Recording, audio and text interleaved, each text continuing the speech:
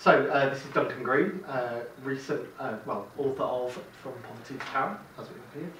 Um, Duncan, we, I'm Andy from Practical Action, uh, and I'd just like to ask you a few questions about the book and about your thoughts of some of the issues that are raised in the book, and um, just get some of your thoughts on uh, right, no sort of development in general. Um, so at the moment, you talk about how uh, in the book how technology is dogged by issues of power and politics, um, and that that sort of hampers poor people to to uh, reach their capabilities really.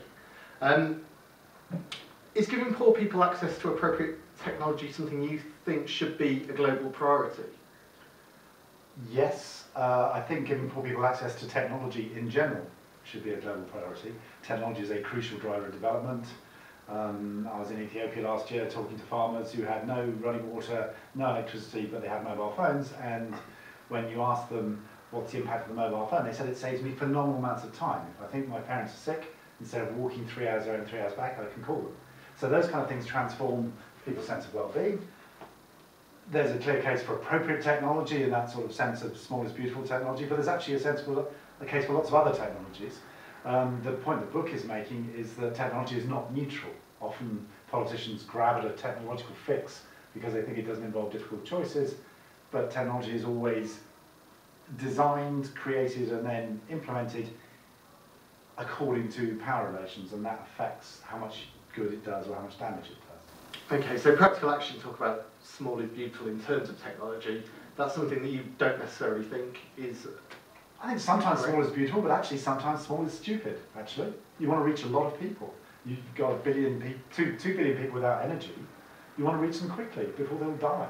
Um, so sometimes small is beautiful means let's have the technology that is best suited to those people. Um, but actually, you often want to go to scale very quickly. So I think, you know, I, I, I wrote a blog post recently um, saying, so what distinguishes a nice technology from a nasty technology? Uh, initially I thought it was completely random, but actually when I looked at the kind of technologies NGOs like and the kind of technologies NGOs instinctively dislike, there is a logic to it. The, mm -hmm. the ones they dislike are big scale. You know, the, the ones where they're not sort of dispersed amongst the population, they're designed through big R&D spending which may not take poor people's issues into account. But actually, you know, I think things like the motorbike or the motor car um, uh, have had a huge and positive effect on people's lives. Um, mass, mass generation of electricity the same. So it would be false to make, take that argument too far. You can do big things well. Um, so I wouldn't always say small is beautiful. In order for many technologies to be effective in lifting people out of poverty, uh, poor communities need to be able to access energy. It's um, fundamental, really. The UN have got a goal of bringing total energy access for all by 2030. Um, and the UN see, see this as being private sector led. In, well, historically, it's been, that sort of thing has been driven by governments, total access to energy. Is that something that, given that context, do you see that, that goal being reached if it's being private sector led? Well, first, as I, I once studied physics a long time ago, and I like the idea of seeing the world through the lens of energy. That mm -hmm. makes absolute sense as a, as a physicist.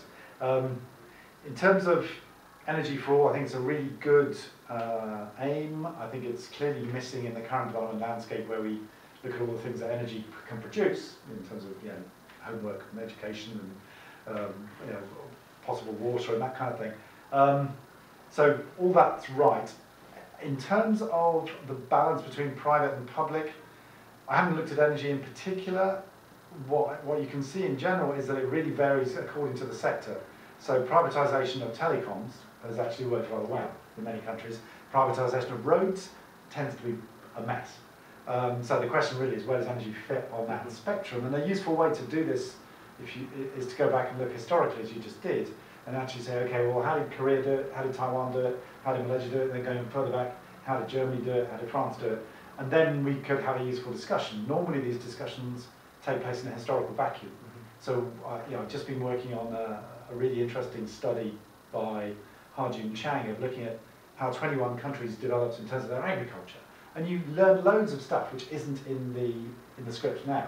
Yeah. You did the same previously on industrial policy. It would be very interesting to do one on energy. I haven't seen that work, but it, it, it may well you know, what, what the agriculture one shows is that actually the balance of private and public, which produces take off in agriculture, is more mixed than it is in industry, where industry tends to be much more Yeah. state-led in the early stages.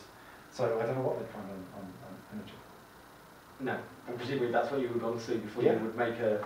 We certainly want to make a use- on- History should at least help us a bit. Yeah, and just Yeah. quickly going back to technology, where you, were- you you sort of said the small is beautiful isn't necessarily true, Mhm. um, and actually developments like the motor engine, cars, motorbikes, or large power plants ca- can bring development. Does development and climate change are, are they easy bedfellows? now that's a leading question. um, so we had a really interesting discussion in Bangkok last week, in fact, um, where the guy from the European community basically stood up and said, can we allow the Chinese to have cars? Yeah. Yeah. Um, which was a brave thing to say, I think, um, politically.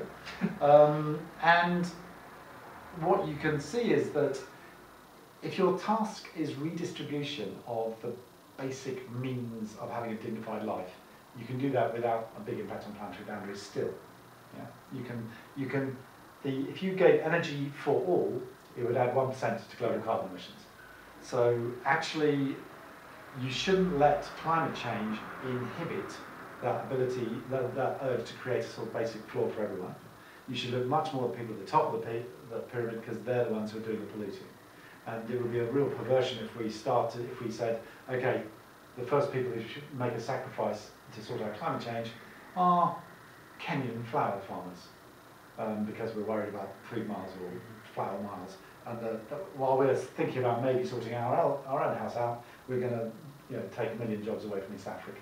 And that's the kind of bad direction that climate change and food miles kind of conversations can take you. We need to keep a sense of who's actually the problem here and what are they going to do about sorting it out.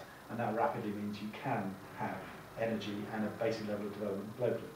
I suppose the uh, the question almost goes back to when when countries reach that level where they're like China, like Vietnam, like Malaysia, where they're at the level where they start to want That's where it's got middle middle income. Yeah, and that's where it's got much more complicated over the last five years because, you know, prior to the uh, Copenhagen Climate Summit, there was this rather crude distinction between rich countries have to do everything, poor countries have to adapt and get help.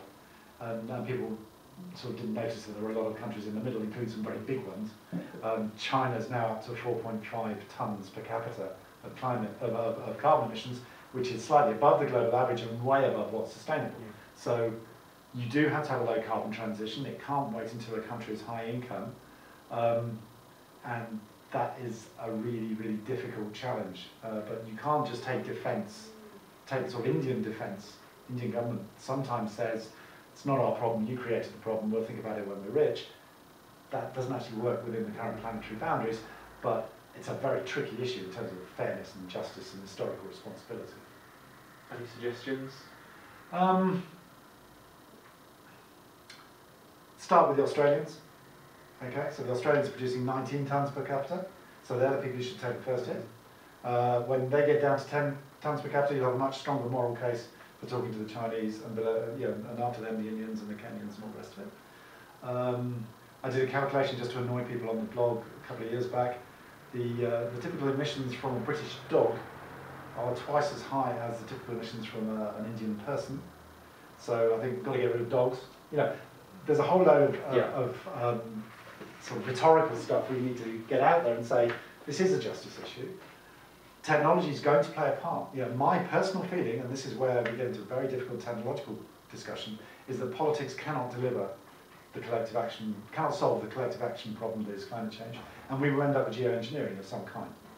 Now, we can either say we don't like geoengineering, uh, we will oppose it because it's new and big and nasty, it's definitely in the nasty technology camp, or we can engage with it and say, our analysis suggests that there will be an inevitable use of geoengineering at some point, and it's very unlikely to benefit poor people.